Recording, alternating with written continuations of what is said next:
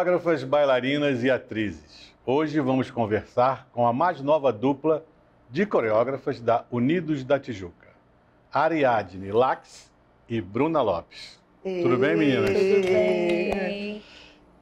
Quero agradecer a vocês, agradecer a direção da Tijuca também, nosso querido Fernando Horta, né? Por liberar vocês nesse momento que a gente está construindo as comissões, né? Construindo um trabalho novo, né? E vocês estão agora com Edson Pereira, né? Sim, Que é um querido imagina, amigo. a gente que agradece, é uma honra É. estar aqui com vocês, a gente é em muito nome fã. da Tijuca, Ah, Em nome da Tijuca, toda a direção da escola, a gente agradece Obrigado. e super feliz de estar aqui. Com certeza. E o Edson é meu amigo pessoal também, trabalhou comigo na viradora, né? Fazia meus figurinos de destaque, né? O Edson é um profissional muito competente. Ele né? é Então, maravilhoso. Ele é maravilhoso. Assim, o processo que a, a gente já já tá Já em está é, a construindo, gente já né? está construindo, tem sido muito bacana o trabalho A com troca ele. tem sido boa, ele nos escuta, nós também aprendemos muito, então está sendo E como- é Muito isso que eu ia bom. perguntar, como é que é essa relação de vocês duas com o carnavalesco em si? Quanto de, de- de percentual, se é que a gente pode, pode falar É, assim? primeiro a gente se alinha, né? Porque são duas pessoas, duas ideias, às vezes, por várias vezes, as ideias se completam e são Isso ideias muito bastante. parecidas, tem acontecido em tudo, né? É. Graças a Deus, a gente tem uma linha de pensamento muito parecida.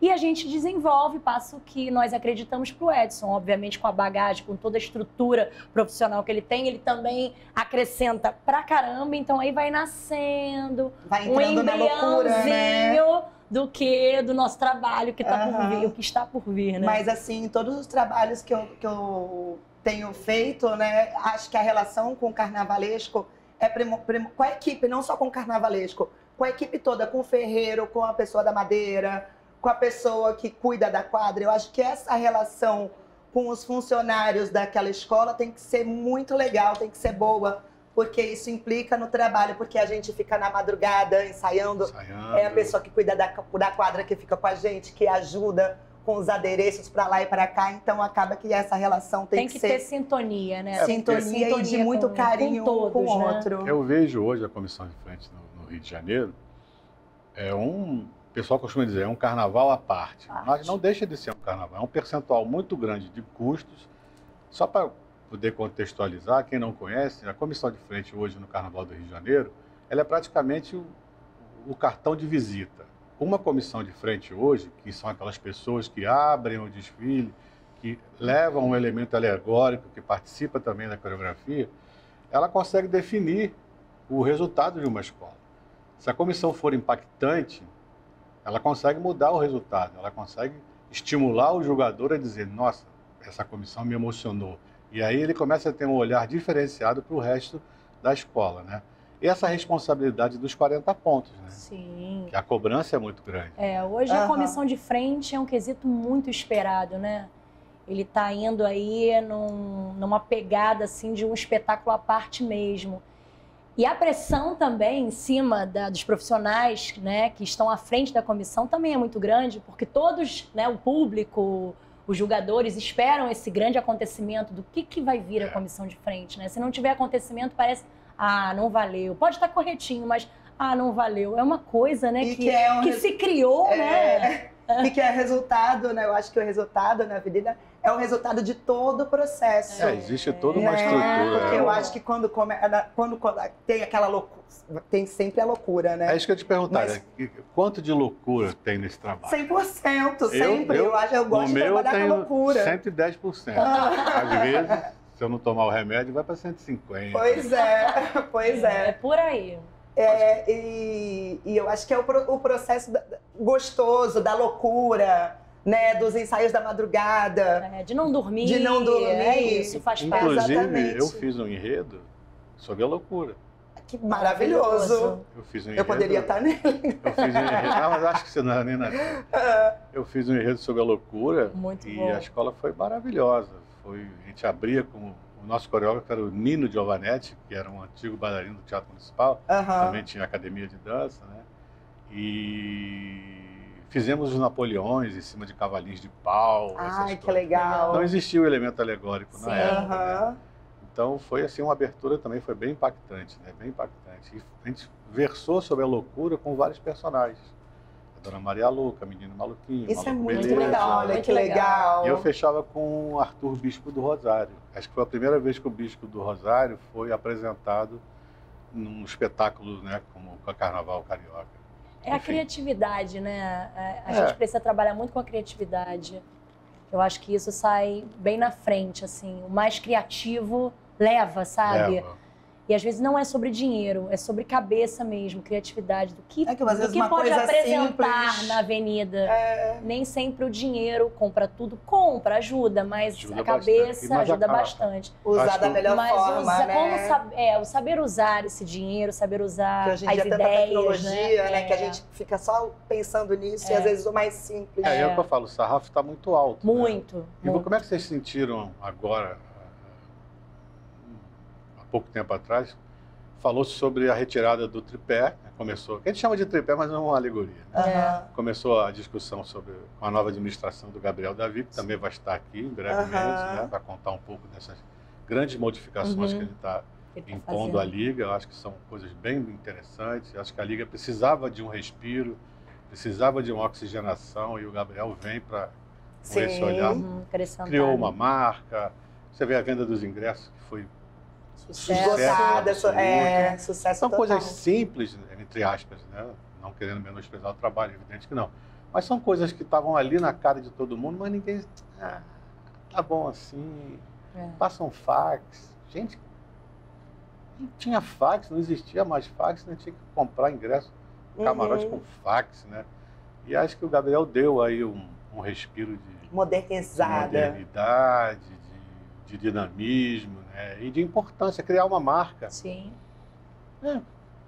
A- As escolas têm seus símbolos. E o carnaval em si não tinha símbolo nenhum, não Precisa tinha uma marca. Aham, Né? é verdade. Então eram coisas que estavam ali na cara de todo mundo, mas acaba que a acomodação administrativa acaba, não, deixa, vamos assim, vamos assim. E como é que vocês viram essa, essa possível mudança? Tipo, retirar o tripé, aí depois, não, não vai dar, porque eu acredito que os coreógrafos todos devem ter Sim. no sentido que a gente consegue, a gente brinca muito, é começar a gritar. Não, não, não, não. Acho que isso a- virou ali uma, uma preocupação de, pô, eu sei o tripé, eu vou só me concentrar no corpo, no corporal, É, na dança. e a gente Como chegando isso? agora no grupo especial, a gente escutou bastante a galera que já está aí há bastante tempo, né? Então a gente vindo de uma realidade do grupo de acesso para o grupo especial, escutando a galera que está aí faz tempo. É. E assim, eu acho também que, que depende muito da proposta do enredo, né? O, o tripé. Eu acho que a gente tem que repensar sim. Eu acho que a gente tem que repensar em medidas, né? Porque fica cada vez, a cada ano que passa, é, não tem tamanho, né? Só É cresce, só cresce. Eu acho que pode ser repensado, sim.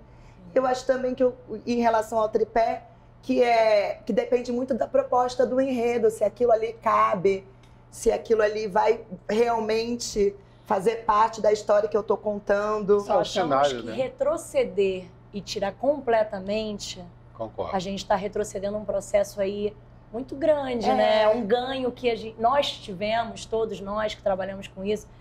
Então, tirar completamente é uma perda que o carnaval tem, né? O público tem, quem está assistindo em casa. O espetáculo O perde. espetáculo perde, Porque pensando em festa tudo. popular é ótimo, Sim. Mas, né? Mas pensando no show, mas tem que, que né? ter padronizado, com igualdade.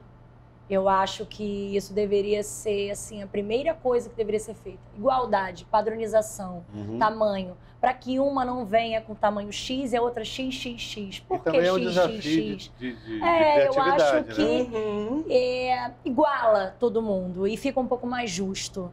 Só, só isso. É, Esse né? ano na Porta da Pera, Carnaval 2024, eu fiz um investimento de quase um milhão de reais na minha é comissão muito de dinheiro. É muito dinheiro. É muito Foi dinheiro. com o Júnior Escapim, a Verônica Vale, que é a diretora Comissão artística. De um trabalho maravilhoso. Hoje, é, Obrigado. Um trabalho maravilhoso hoje. seu e do Escapim, que é um queridíssimo. É, aquela coisa de. É, é, o a, a É, questão, a coisa Muito da solução, né? envolvido, né? Como é, que a gente vai, hoje. como é que a gente vai puxar uma É. menina, como que ela vai flutuar? E começou, vai ser o cabo pela cintura, igual a, a Pink fez no show, o Aham. cabo na cintura. Não. Aí me veio na cabeça, eu tinha assistido um documentário sobre o Cirque du Soleil e tinha uma brasileira que faz, chama-se Esforço Capilar. Sim, sim. Foi Eu falei, gente, para maravilhoso. puxar no eixo tem que ser esforço capilar. Aí todo mundo foi correr. maravilhoso. E ela arrasou. É. É, muito Foi ótimo. pequenininha. É. Eu gosto muito de participar e de, de ver o resultado final de uma comissão de frente. É É o sacrificante também, né? Você acompanha processo, os né? O ensaios processo é também? longo. Sim, sim, sim. Isso é, pra mim é eu muito sou, na legal, verdade, assim, um o carnavalesco que tá tem que estar ensaios. junto. Claro, eu não admito aquele. Eu não O admito. processo não. é de todo mundo, né? Cada O um tem processo é de sua todo maneira de, de trabalhar, mas o carnavalesco que chega no final da tarde para ver como é que tá, não é assim que funciona. O engajamento tem que ser de todos, né? Tem que ser Do de início todos. Você tem que chegar de manhã, você tem que orientar o seu É. ferreiro, o seu carpinteiro, o seu escultor, o seu pintor Sim, de arte, sim, com certeza. Você tem que estar dentro do processo. É. Ah, vou chegar de tarde. Ah, eu já ouvi de carnavalescos renomados esse tipo de frase. Não, eu já fiz o projeto, agora você tem que desenvolver. Agora é com eles, problema deles. Mas Se vira é aí. Assim. É. Se vira aí, não é assim que funciona, né? Não é assim que funciona. É. E a sua chegada, a chegada de vocês duas na Tijuca? Da Ah. onde veio isso tudo? Né? Vamos falar um pouco da trajetória de cada uma. Aham. Ariadne. Então, eu sou paulista, chego no Rio com, é, trabalhando com dança, é, bem novinha. E meu primeiro trabalho, já assistia em casa, era louca pro car- por carnaval. Vinha de férias com a minha mãe, a gente ia pro Sambódromo assistir, a gente ficava no último setor. Uhum. E eu já, eu nem sabia que, que tinham as cabines do jurado e que se apresentavam assim, porque ali no final não, não, Não se tem, vê né? nada, mas eu já ficava enlouquecida. Eu lembro a primeira vez que eu cheguei na Marquês de Sapucaí, eu vejo as meninas, eu, se eu não me engano, era a comissão da dona Gislânia, da Beija-Flor, com as Beija-Flor. meninas de sapatilha de ponta. É os beija-flores. Aham. Ele foi maravilhoso. E, mara- e a primeira Isso. coisa que eu vejo, eu fiquei enlouquecida, porque na minha cabeça, o, o, o- o que eu assistia, eu não via isso. Quando eu chego para assistir, eu fiquei enlouquecida. Eu falei, por que, que eu não estou ali? Também, eu, eu que- que queria muito participar. Aí venho para o Rio de Janeiro, tenho a oportunidade de conhecer onde eu fazia as aulas de dança e dava aula de dança. É, tive a oportunidade de conhecer as pessoas envolvidas no ramo. Meu primeiro trabalho que eu faço com carnaval foi o lançamento de enredo. Hum. E aí, que a gente acabou de, de fazer, né? É, então, foi. E aí eu vi aquelas pessoas onde eu já era fã na cidade, na cidade do samba. Eu fiquei enlouquecida. Eu vendo quem é quietinha no cantinho. Falei, ah, Selminha Sorriso. Ah, Milton Cunha. Sabe assim, umas pessoas. E aí, no processo, entrei como bailarina em comissão de frente De qual coreógrafo? do Márcio Moura. Márcio já esteve aqui. Já esteve aqui maravilhoso. E logo virei muito amiga dele, ele é meu irmão. E trabalhei muitos anos como assistente dele. E aí ele entra na Estácio, eu entro junto com ele como coreógrafa dos casais de Mestre Sala e Porta-Bandeira e ajudando na comissão.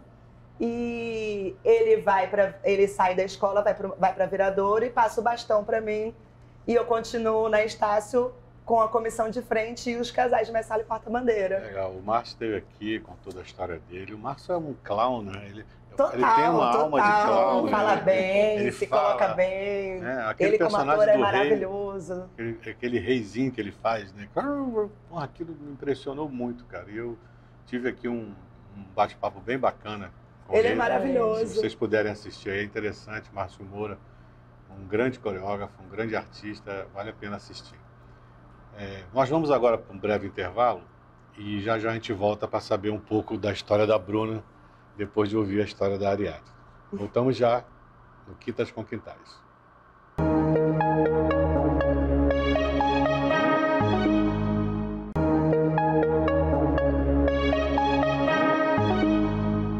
Voltamos com o Quintas com Quintais e eu sigo conversando com Ariadne Lax e Bruna Lopes.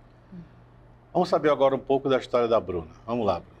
Então, Mauro, com seis anos de idade, eu resolvi fazer balé. E fui fazer a prova da Escola de Dança do Teatro Municipal. Consegui passar e me formei na Escola do Teatro Municipal. Mas desde pequenininha, minha família gostava muito de carnaval. Minha mãe saía na ala, meu pai saía. Minha avó passeava comigo no meio dos carros, até porque ela mora, a gente morava né, ali perto da Presidente Vargas. Então era o caminho todinho, vendo os carros, voltando. E eu ficava pensando, um dia eu vou fazer comissão de frente. Um dia eu serei componente de comissão de frente. E sempre ali, isso aí nunca saiu da minha cabeça e era um sonho mesmo. Até que então veio né, a Beija-Flor com as meninas bailarinas e isso me também saltou muitos olhos, querendo, é, querendo, porque foi a primeira vez, eu acho que foi lançado meninas no carnaval, Sim. eram muitos homens na comissão de frente, né? E nunca tive também a oportunidade, não conhecia é, é, a coreógrafa da comissão de frente da Beija-Flor na época, até que surgiu a Priscila Mota e o Rodrigo Negre pegando, lançando essas meninas. Eu comecei em 2005 na tradição, mas gosto de enfatizar o segredo, né? É, que foi, foi o lançamento da Priscila é, e o Rodrigo como coreógrafos. A comissão e... do, do, casal é. e a comissão em si do segredo é um marco. É um marco no carnaval. Foi um marco no carnaval. E o primeiro trabalho com mulheres que os dois fizeram foi o Segredo. E foi aquele ápice, aquele estouro no carnaval, aquela mudança até mesmo do quesito comissão de frente, né?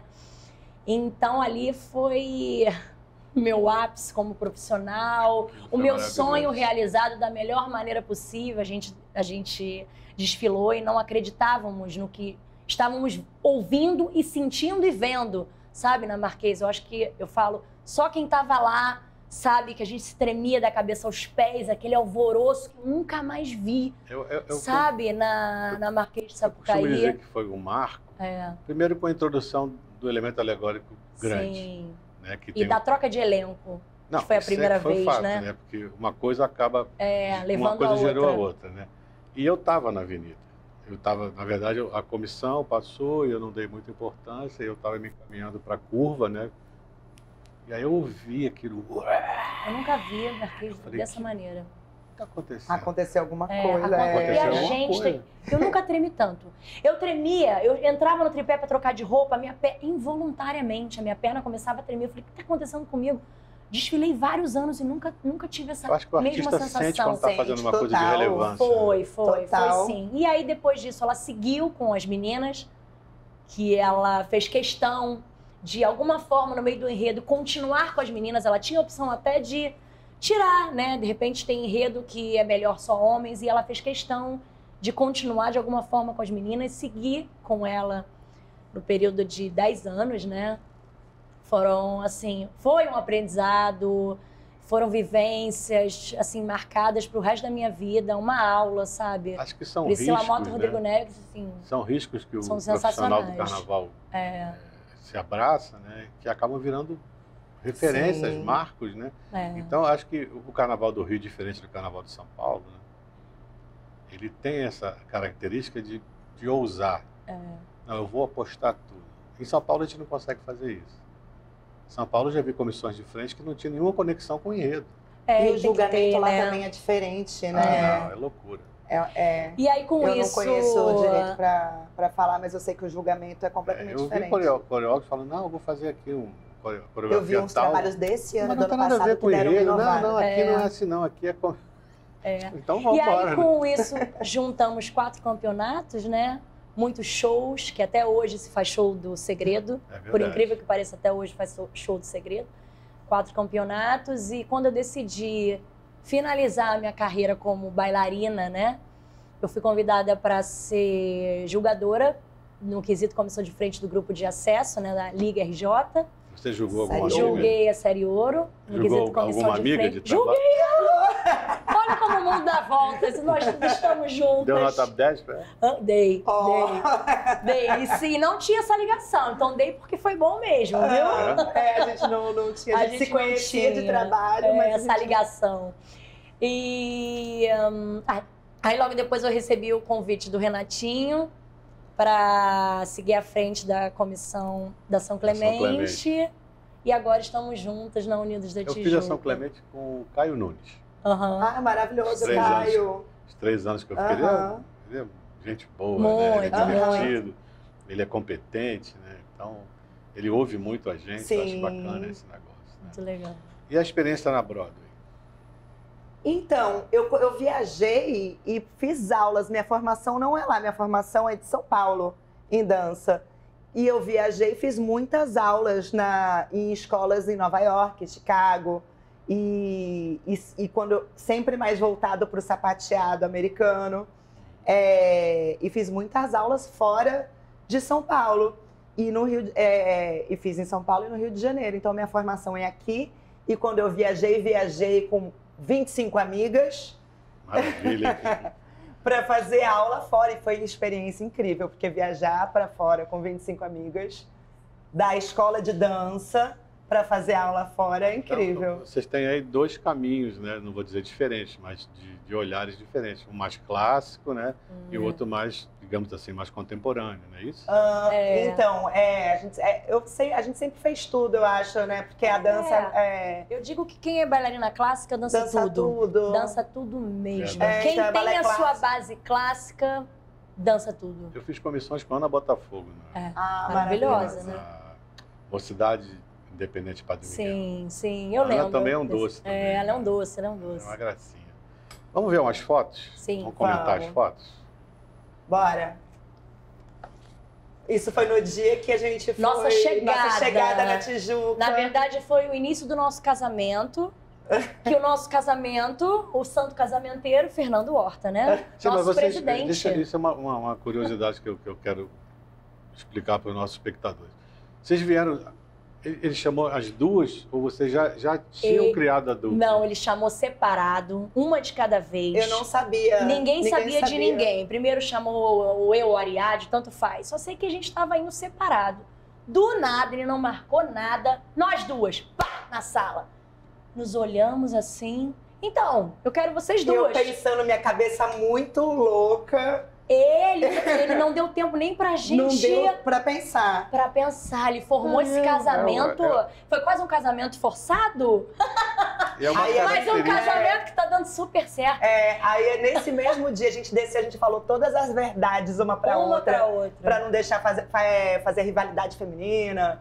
Eu não sei porque sempre tem os comentários, sempre tem vamos essas coisas. Nessa, a gente teve um papo muito sincero. Nada é por acaso nessa vida, eu falei para elas. Nada Ih, é por acaso começou, nessa é... vida. Vamos acreditar na oportunidade que que o astro, que os astros dos, do carnaval é. está nos dando, né? Não, Estão é, nos dando. É uma característica. O Fernando Horta, para quem não sabe, é o presidente da Unis da Tijuca há muitos anos.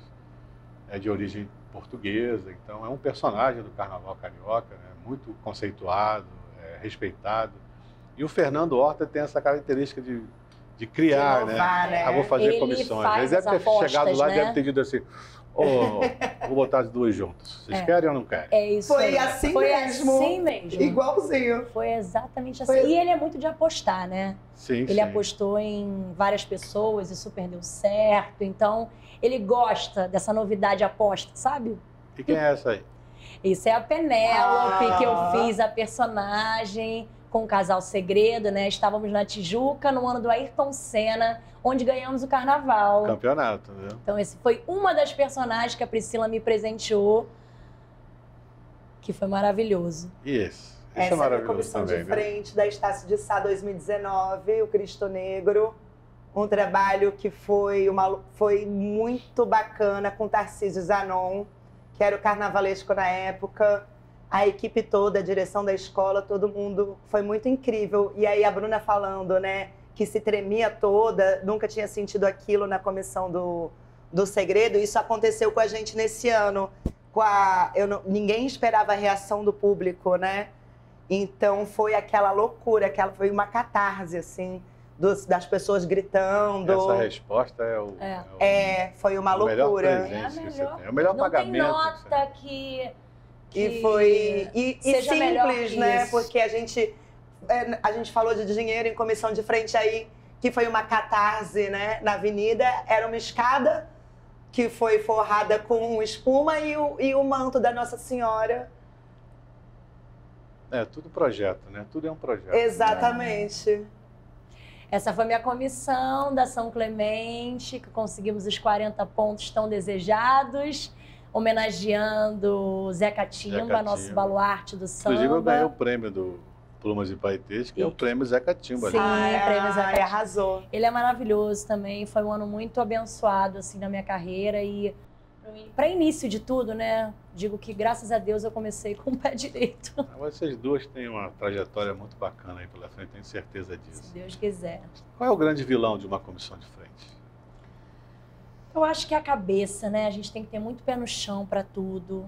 Humildade, respeito com os bailarinos. Sim, gerir aquelas pessoas, É. né? A gente tem que ter, ter essa noção que a gente está à frente daquele trabalho ali e, e são muitas pessoas envolvidas, não são só os bailarinos. É lidar com cada ser humano, né? Cada cabeça. Eu acho que é o mais difícil do Ent- carnaval é gerir É, as pessoas. Entender os problemas, entender que cada dia tem um mal.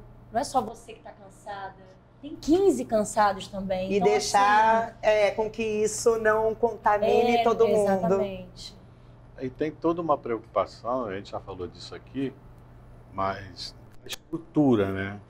Porque por mais que vocês estejam alinhados com o seu diretor de carnaval ou com o seu diretor de harmonia, que é importante na questão do tempo, né? Isso é Sim, muito sim, importante, Sim, né? O tempo, tem que estar né? tudo E alinhadinho. cada escola tem um tamanho, cada escola Sim. tem uma, uma estrutura, então o tempo é muito importante, né? Porque a comissão de frente, ela puxa o cortejo, na verdade, Sim, né? É o, mas isso tudo É é, início, muito né? ensaiado. Tem que ter uma sintonia É, muito... a sintonia Aham. tem que estar boa com a escola. Acredito É. que o vilão também é quando não se tem essa troca, quando não é falar. claro, né? O contato não é claro, você não tem essa troca verdadeira, as pessoas ficam confusas, a escola está confusa, então eu acho que isso é um Acredito, não aconteceu É, com a gente, graças não, a Deus, é, mas eu acredito que seja É, um dos acontecer.